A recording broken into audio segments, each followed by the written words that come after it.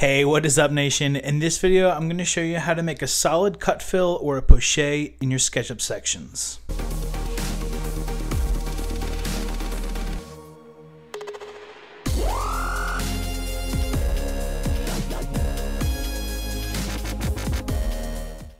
So I downloaded this this awesome 3D model of uh, framing for a house from the 3D warehouse. Uh, it was modeled by a gentleman named Jay Gubler Gubler. Uh, sorry if I can't pronounce your name, uh, but this is awesome for what I'm trying to illustrate. Um, so uh, thank you.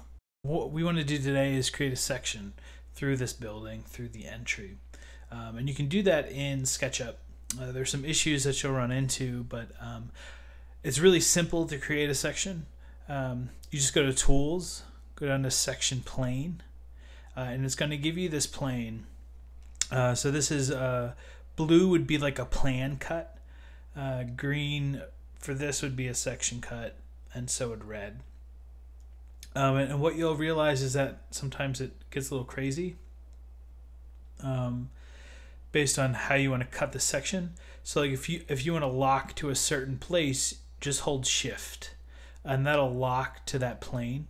So if I want like green and I want to cut through the center of this entry, uh, which is what I want to do for this, I'm just holding shift uh, and then I'll click to this midpoint and it'll make that section. So right now I have a section through the middle of the building. Um, but one thing you'll realize uh, if you're familiar with architecture, uh, there's a missing poche for this. So um, what you might do, uh, and a poche is basically just a, a, fill, a black fill over this area. Uh, when you get to construction documents, um, you'll have a fill in there that represents whatever that material is. So like for this footing, it might be a concrete fill, a poured concrete fill. Um, or uh, you know if these walls are precast concrete or something um, it would be a different fill um, and there's a, a plugin called Skalp, which will let you sort of deal with that, or you could export this to um, layout and you could start to deal with that stuff. But for this, we're just working with visualization, and I just want a black poche. Um, so there's sort of two little workarounds that you can do. Um, uh, and I'll just show you a couple things first before we get to how to do a poche with this tool. If you right click, there's a reverse. It'll change the way that the section cut is. Uh, if you hit align view, it'll flip to a essentially flat version. Right now I have parallel projection um, on. If you have uh, perspective on, it'll show some depth um, or perspective, I guess. And uh, but one thing with that when you poche and the way that I'm going to teach is sometimes it can sort of mess up a little bit. So I'll keep it on perspective for now and then show you what uh, parallel projection can do. Um, and then another thing is uh, create group from slice. So I'm going to do that. And then what I'm going to do is hide, uh, turn off my section cut. And what that did is it made a group right here. So if I double click that, and I'm going to uh, let me hide this other stuff. So I'm just going to hide this house.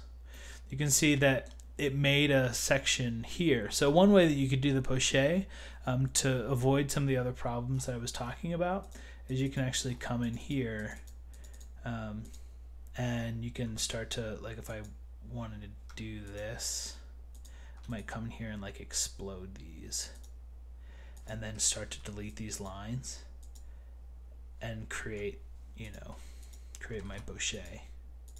And then maybe I color this. If I press uh, B, um, color this black. And you might do this for the whole thing. You know, if you really want an actual poche. Um, so that's one way to do that. I'm going to delete this group, but just so you know, that's one way you could do it. Delete. And then I'm going to go back to hidden geometry. I'm going to turn my house back on. Okay. Um, and then I just need to enable this again. View section cuts. Okay. So, um, and I'm going to align to view. So we can just see what we're looking at. Um, the other thing that you might want to do is create a, a view that essentially poches for you, um, or a style rather. Um, so what you want to do here is if you don't have this window open, let me close it and I'll just show you how you can get that back. If you go to window um, and go to default tray, go to show tray, it'll bring that up. And then you just come down to, to styles, make sure that that's dropped down. Boop. And then um, hit this little plus button and we're going to make a new style. And then under edit, um, what I'm going to do is click on uh, this little face setting. Under back color, I'm going to change this to black because I want a black poche. You can see that it changed that whole thing to black. And I just want to click this little wheel and it'll apply those savings or those settings and then hit just name that to poche. And now you can see that um, I have a poche and I can zoom in a little bit. There's a little bit of weird like um, just the, because the way that this was modeled uh, you can see the the poche isn't perfect, but if I go to parallel projection, it looks pretty darn good. Um, it's a little complicated. And everything's a little fuzzy because I'm zoomed out. So you may want to just be concerned about that a little bit. Um, and then one other thing is that you have the ground li- line too. Um, so you can change that in the settings as well. Um, so if you just go to ground, it'll change that to whatever color. So if I want this to be like a uh, like another sort of gray, browny gray, that's an actual color. so if I change to that, now I have this sort of like nice looking section cut. I can turn off the axes. I can turn off section planes so I don't see that guy. I turned off section cuts instead of axes. I want section cuts on. Um, and then update this again. So now I have this sort of like poche view. Um, but when I'm modeling, um, I can turn all that stuff back on so that I can see everything that I'm working with. Um, and then you can create a scenes that you're constantly looking at that particular um, plane. Um, if you need to know how to look to, to view scenes, you can check the description below, and there's a video on how to do that.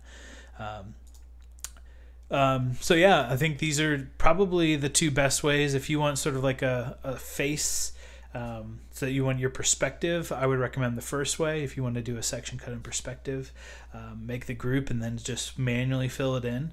Um, if you want to pay, um, you might want to try out Skalp, which is an extension.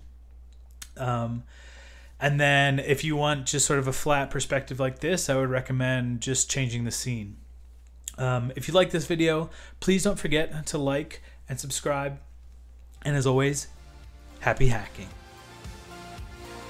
All right, designers, just because this episode of Designer Hacks is over doesn't mean we're leaving you out in the cold. Tony's got tons of great content available at designerhacks.com. So join Design Nation right now, and we'll see you on the next episode of Designer Hacks.